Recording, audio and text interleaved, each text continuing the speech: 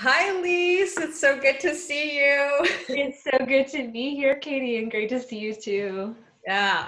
Um. Well, last night was the Emmys. Mm-hmm. what did you think? oh my goodness, I've got to be honest. I did not watch the whole thing just because the way pandemic is. Um, I'm having self tapes coming and trying to manage everything. And honestly, I completely forgot until it got going. So then I went and got as caught up as I possibly could. Mm-hmm. And I loved the opening monologue because mm. I was like, I was very confused for probably the first three minutes. And I was like, how dare everybody in Hollywood? Wait, what? How is Oprah there right now? There's nobody socially distancing. and I like knew something was up, but it was still like playing with me. Uh-huh. Uh, so I thought that was, I thought it was very, very clever. Yeah. Um, I recognize some people's outfits. You did? Okay. Yes. You're really good. I know a big part of me was like, this has to be past footage. Um, I love, I love the reveal that it was Jimmy Kimmel was in the wait, there I am.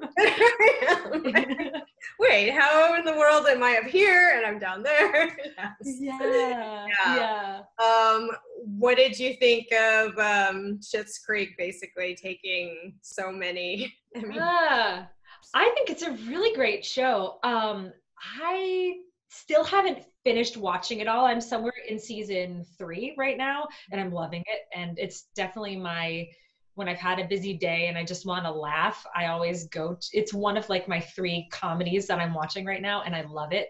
Mm-hmm. And uh, there's something that happened, I think probably end of season two, beginning of season three, where all of a sudden they start becoming good people and they're changed by the town. And i really i i find that beautiful. And so i'm actually getting more into it as the show goes on.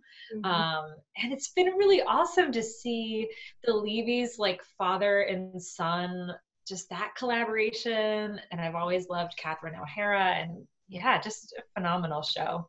Yeah.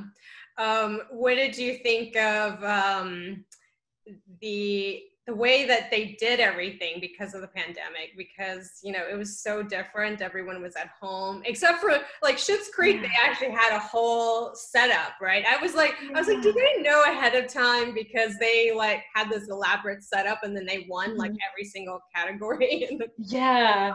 I know that's so fun. It's like it did remind me of like being on um I've been in a few regional theater productions that have been so successful and we won one award show and another award show and just sweeping. So uh, not not to place myself with that cast at all in that production but just the feel of being on a being a part of a very successful project. It's so cool that they were able to do that.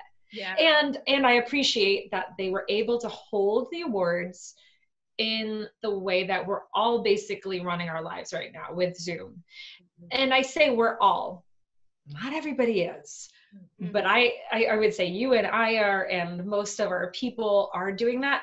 A lot of people, a lot of people are like not doing that anymore and saying, ah, F it, let's just do gatherings now. Let's not wear masks. And I think it's a really another great example of um, Hollywood stepping up. They don't always step up in the right way, but I think this was a really awesome way to step up in this moment as an actor and as a coach for actors, do you find it inspiring, like this award show inspiring, or do you find it kind of depressing because you're like, are we working? Are we not working? I always find it inspiring. Um, I again, I have to go back and watch the whole thing. I couldn't figure out how to replay it from where I started watching, so I have to go back and watch. But I did enjoy the interviews ahead of time, and I just there's something about the intimacy of being in someone's home mm. like that we're getting to have now in a way we've never done before mm-hmm. and i think i saw this for one of the first times um, when the pandemic first hit and Hugh Jackman and Allison Janney had a movie they were promoting together mm. and they were both doing an interview from their homes and it's just it was so fun to see what their background was. and I know you can choose like a beach background or like a fake background but I love it when people use their actual backgrounds. Yeah, it's just um yeah. again, it's just more vulnerable, it's more intimate Um, I always love seeing Tracy yeah. Morgan's because he always he has like a baller house. That's awesome. it's so cool. Yeah. Yes, yes. Uh, there's one more thing. Oh, there's one more person I saw. Oh, you know what I loved? Oh, what's his name? Cephas. Uh, mm, gosh, I can't think of this. There was a, a father and daughter. The father plays um, William on This Is Us. What is his name? Cephas Jones. Is, oh, um, yes, I can't remember his name. oh, either, but I know who you're talking yes, about. Yes, I love him so much, and it's terrible that I can't remember his name.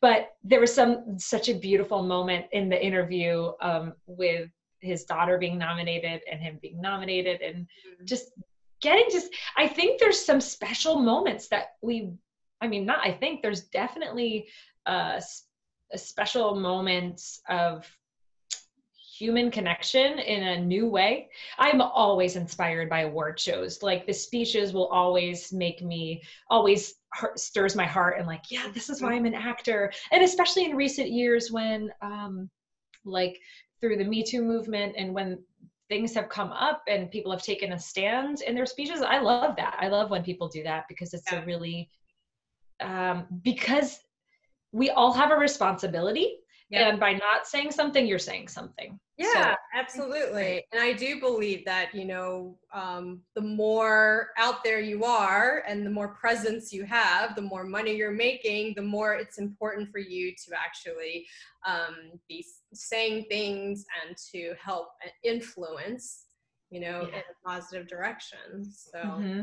yeah um, okay so now like we've been talking about the pandemic it's like yeah what have you been seeing for yourself? What have you been seeing with your clients? Um, are productions coming back? I feel like they are, and um, and yeah, what any any positive things happening in the? oh yeah, I mean it's it's been such an interesting time. Um, I feel very fortunate and very lucky in that the Global Actor, which is my coaching program, I've believed for years that you can make an acting career work from anywhere. That includes if you live in the Midwest and had to move home from New York to move back in with your parents, or if you had to leave anywhere that you were living full time with this. Um, I really believe that you can have an acting career from anywhere. Mm-hmm. And so when You're proof of it. yes, yes. So yeah, for those who, who don't know, like I live um, three hours outside of New York City. I work in New York City often, haven't been back since the pandemic, and that really has not affected anything. Mm-hmm. And I was living that way before this. So when the pandemic hit, I knew I had certain things in order as an actor that were not going to really affect my career mm-hmm. at all because I worked so much in voiceover. Um, and so it was incredible to have something like a, a mission when the pandemic hit to say, oh, okay, how many actors are doing this in voiceover? How many actors are narrating audiobooks? Like, let's let's talk about how you can make that happen. And and it was so cool to have something to do instantly. Yes. And then that said, we're now six months into this new way of living, and it's definitely it's definitely been trying at times. Um, with as a as a coach it's been i've had to take a few steps back hmm. um, in a way. Like usually i'm like all right let's go go go go go. But i've noticed for myself personally i've wanted to take some some time take a few steps back. And um, i'm definitely someone who is always goal oriented always working on 10 million things. And so the pandemic gave me an opportunity that I wouldn't have taken myself to be still and mm-hmm. to have some quiet and to check in and it's it's really reminded me how much social justice is important to me and it's given me an opportunity to rethink my career in a way and and go further when I choose the projects I want to say yes or no to.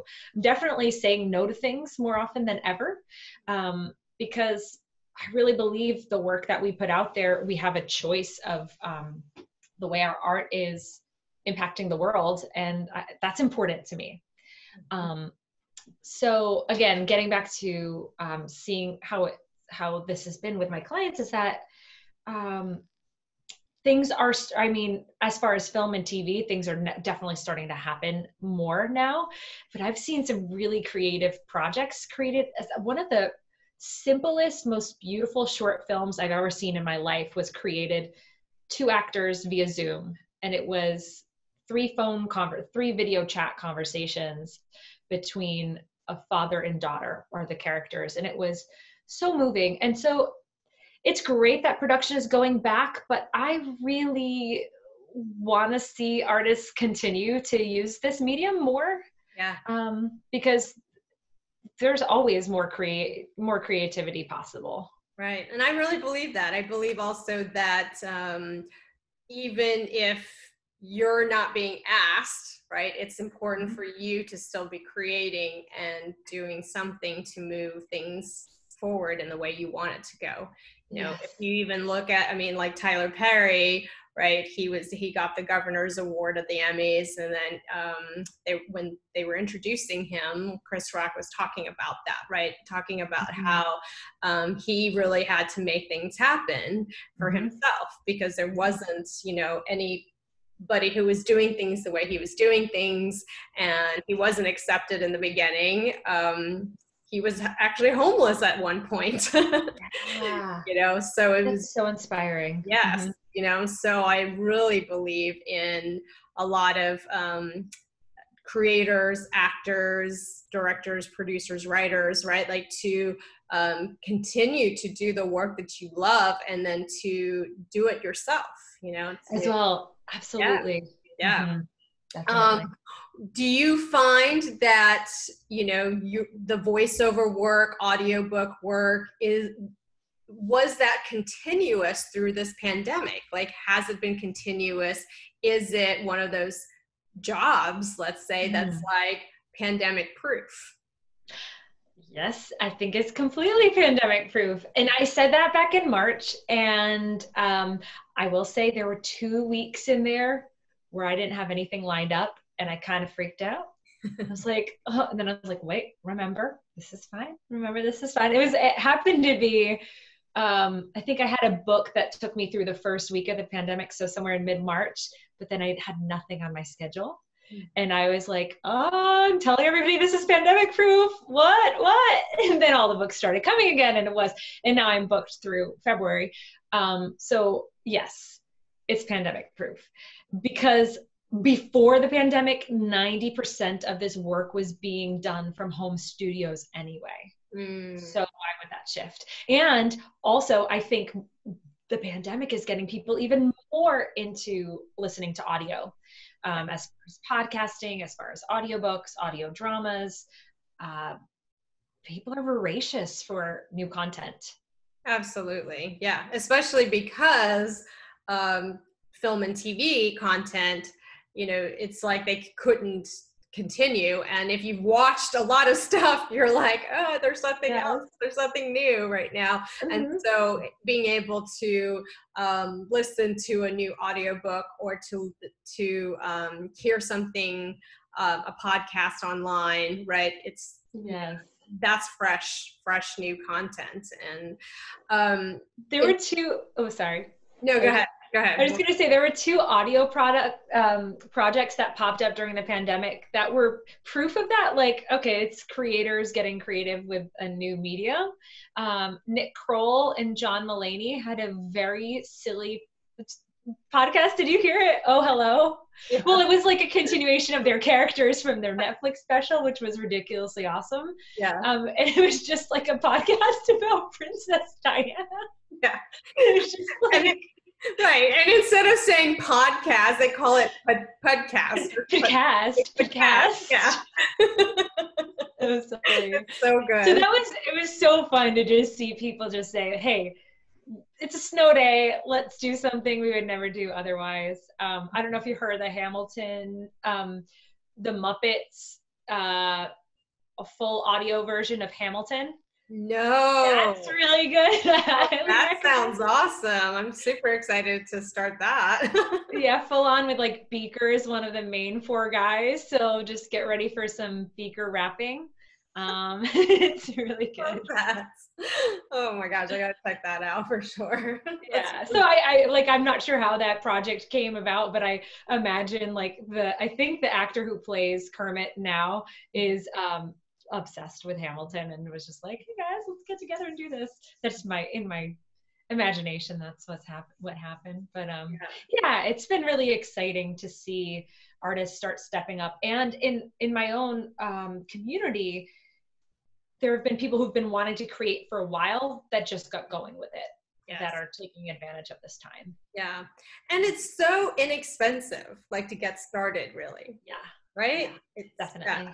Yeah. Um, and I'm sure you're going to you know explain that to people in your master class you know about kind of the equipment that you sort of need and, and you know to get things going and all that kind of good stuff but it's just to me it's just a really great way to continue doing what you love, which is acting, mm-hmm. and doing it in a way that is, um, of course, of this moment because podcasts are pretty much like the hottest things. Everybody's doing having a podcast, um, but then also um, creating income for yourself. You know that Definitely. is yeah, and then not just having that you know server job, which of course has you know like either either you work you're not serving or you may be back a little bit um mm-hmm. but it's not the same as before not the kind of money you used to make yeah that's right. for sure yeah and let's talk about that um, a little bit because to me i don't even like the word survival jobs because to me like when i hear that when somebody tells me that it's a survival job then i what i think about is that you're only doing certain things just to survive, right? And if that's your mentality, if you're calling it a survival job, then of course that's all it's going to be. It's just a, a way to just survive, right? Mm-hmm. You're never going to thrive when mm-hmm. you have that kind of mentality and when you have that kind of a job. yes. Yes. I agree with you. I don't like that word either. I don't like survival job. Yeah. It sounds desperate to me. Yes. Right, exactly. Mm-hmm. And even with, to me, like day job or side hustle or any of those things, um, there's a connotation that it's not it's not what you really truly want to be doing. Mm-hmm. Yep, definitely. And I don't know if you found this to be true, but like when you're able to do what you've been wanting to do, like let's say you know you're an actor you want to be an actor and you want to be you know doing all of these big projects and you get paid as an actor like you know doing voiceovers and audiobooks then all of a sudden all these other opportunities tend to open up mm-hmm. yes are you yes. seeing that definitely and i think it's um it's like in it's inviting it in by doing it more and by saying well i i am a working actor and uh, here's proof of it obviously more opportunities are now going to come my way because i do this all the time yeah i i definitely had many times in my career where I've had to make those subtle shifts that you're talking about in, in thinking about what your day to day work is. And I, it actually goes back to when I was in college my family wanted me to be a music educator or just an educator and not not be an actor because that's scary and you might not make money and uh, you know family loves loves you but the way that my family loves me is just do things the way that we know work so that you don't you know get hurt or, or whatever that is. Um, so for me i went into music education at the beginning of my college career, knowing full well that I was going to be an actor. So the first couple years, whenever someone would say, what, what, what are you majoring in? And I would say music education, but I'm really going to be an actor. And I just started hearing myself say that over and over again. And I was like, why am I doing, why, why, why? That's, this is my life. I'm paying for college. Like, hold up what do you really want to do? And so making the shift and switching degrees and like coming to terms every time i would step into well this is what i really want to do i i gave myself the self-compassion and the self-love to tell myself like yeah you deserve this and you're going to work hard and you're going to get it you're going to do it. And and so that happened along the way that happened you know I eventually booked my first college gig and then my first uh, professional gig during college. And, you know, that just built upon and built upon and built upon. Um, so I was working as soon as I said I was going to do this, like things started happening again. Like I was getting paid acting gigs in college as soon as I made that shift. Mm. And somewhere maybe halfway, like a few years out of college, I think again there became expectations where people were like, actors wait tables. Before that, I was like a teaching artist, doing a bunch of different things. And then I was like, ah, I gotta wait tables because that's what you do. Mm-hmm. You just gotta do that and you gotta feel the struggle. You gotta be a starving artist, you're gonna be struggling. And so I did. And of course, I went into credit card debt and I was living in expensive cities in Washington, D.C. and New York City. And it never felt good. Mm-hmm. I was always exhausted. I'm a hard worker, but how much of that energy was going towards this thing that really did nothing for my artist self Right. You know? Exactly. Yeah. And so like to me, um, I I love the idea of if you can you know get started working on audiobooks working on your voiceover career it's like then you're just bringing that kind of energy into your life mm-hmm. and the more that you bring that kind of energy into your life then it it actually propels you to actually bring in more um, yes. and then also what what you've said i think in like um, in your master class like you know um, the materials for your master class is that it's also something to talk about right with mm. casting directors of course so so narrating audiobooks is acting and i think narrating audiobooks voiceover doing video games um, it's all acting so again the moment people start saying well i just do this or i just do this um, it's all acting mm-hmm. if you're I even think like promo jobs at convention centers, if you are putting on a performance, that's acting too. So I think I, would just encourage every actor to just start being a little bit more open to all that is acting.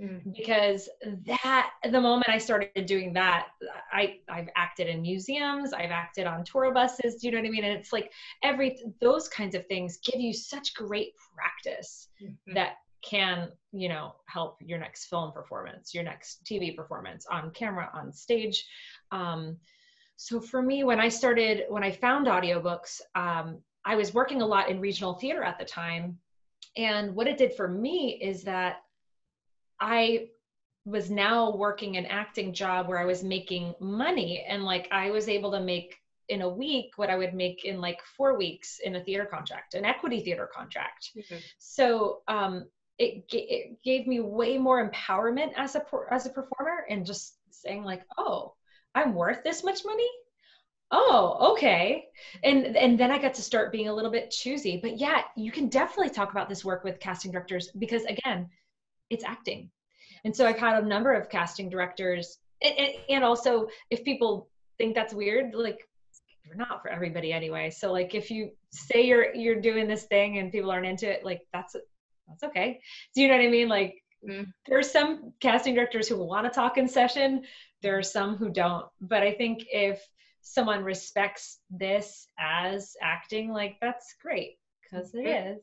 Yeah. Um, yeah. And, and I, I, I, I think I told you that story of like um, a cousin who just graduated from college. She um, was telling me about her favorite um, audiobook narrator. Yes. Um, yeah. yeah. Oh my gosh. There there are the Audie Awards or like the Grammys or the Oscars of the audiobooks. There's a whole audiobook culture. And again, they're working actors who are doing this work. So it's a really tight knit community, a really great way to um, build a repertoire of your work. Mm-hmm. and um, get to play characters you would not typically play um, on camera unless it's like your own thing if you're doing a one person show. But i think I, I, like to think of each project i do as a one person show. So in some cases i'm playing 30 different characters. Right. Um, yeah, yeah and not only yeah. And, and not only is it something i can talk about in the industry and give people hey click here and like listen to that whole performance now or just five minutes. So um, again for casting it gives people an idea of what you can do. Um, also it's just really improved my cold reading skills given me an opportunity to play with improv in a way that i haven't in a while hmm. because you're just doing that all the time. You say you've got a 200 page book a lot of it's cold read. You you you do read it all once before you record it but then it's trusting your instincts.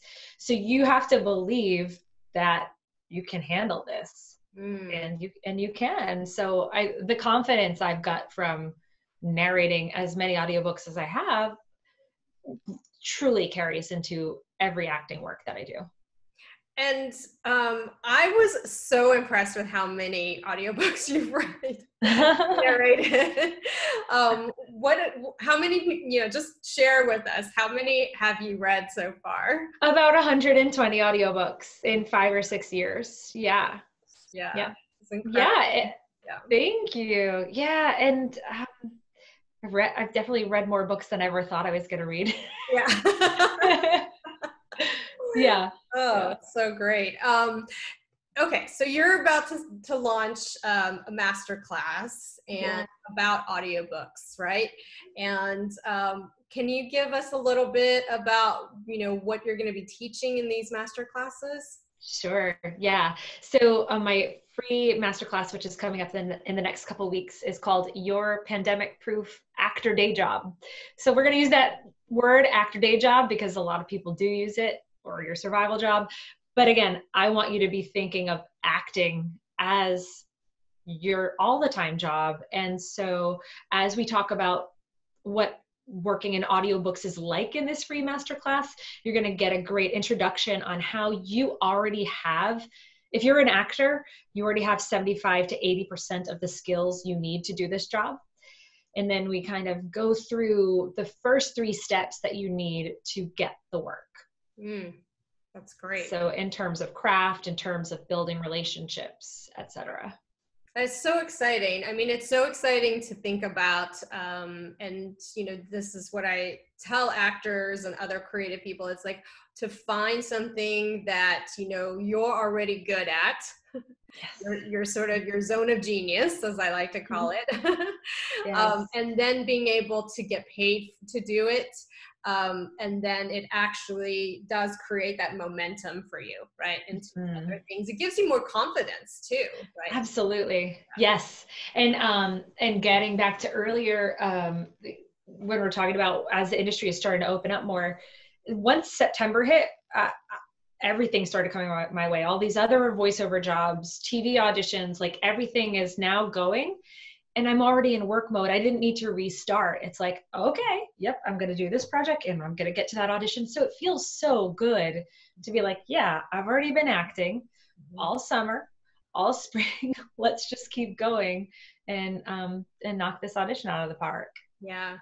Um anything that you can share with um, somebody watching this and if they're sort of on the fence about you know i mean there should be nothing on the fence because this is a free master class you know? Oh my gosh. Yeah what have you got to lose? I will say um, if you love reading books and have ever enjoyed reading books out loud in your life come take the class.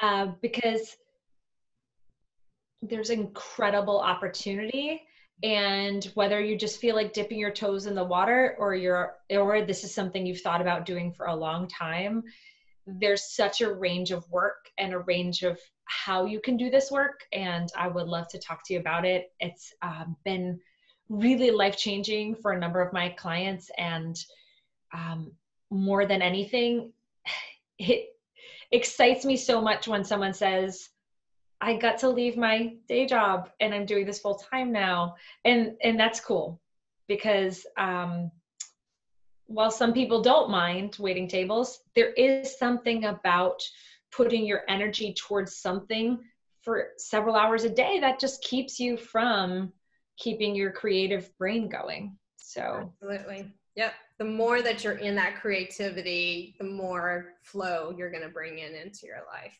So. Mm-hmm yeah. Yeah. Yeah. so everyone yeah join join in on the class you know get yeah get started. I really do believe that you know just by attending the class you can you know you can learn something and get yeah and i'm going to give some steps that you can take right away. Mm-hmm.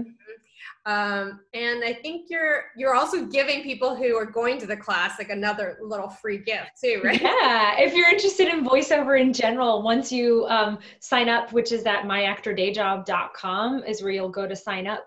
Just by signing up, you're going to get my uh, VO starter kit. So if you're interested in other parts of voiceover, it's actually an eight-part video series and a PDF file um, so it'll give you a ton to just get started and answer a lot of the questions you might have just as you dive into it. Perfect. Thank you so much, Elise. Thank you, Katy. Thank you so much for this. I so appreciate this opportunity. Absolutely. Talk soon. Sounds good. Bye.